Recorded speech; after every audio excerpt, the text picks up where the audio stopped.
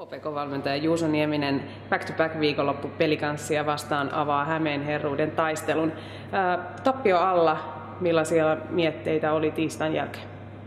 No tiistain tota, ei, ollut, ei oltu tiistain pelin tyytyväisiä, ei, ei tullut myöskään tietty pisteitä, mutta tota, siellä oli hyviä juttuja pelissä ja, ja tota, tehottomaksi jäi kuitenkin sitten ja tänään olisi tarkoitus saada niin kuin, hyvästä pelistä niin, tai hyvästä pelaamisesta saada myös tehokasta peliä.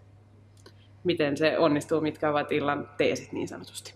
No meidän pitää pystyä hyökkäämään ehdottomasti niin kuin paremmin ja peli kanssa tulee asettaa siihen kovaa haasteen ja sitten taas että paineesta lujaa ja meidän täytyy tehdä paljon töitä, että me päästään kiekoille ja, ja tota, pystytään pelaamaan hyvää kiekollista peliä. Niin paljon töitä ja yhdessä pelaamista se vaatii.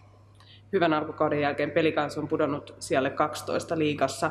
Vastus on kuitenkin ilmeisesti tänä iltana tiukka.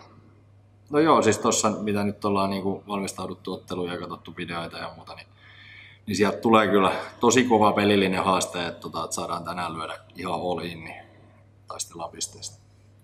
Laitoitte ketjut uusiksi. Mikä siellä on taustalla?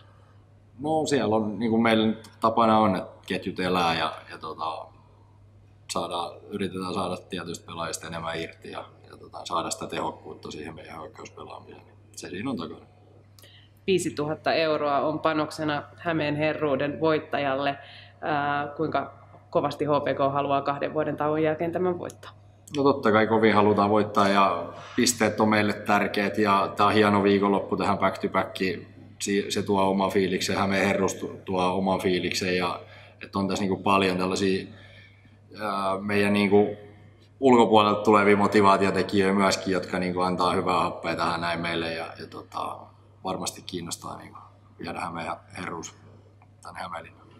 Kiitos, että sen peli. Yes, kiitos.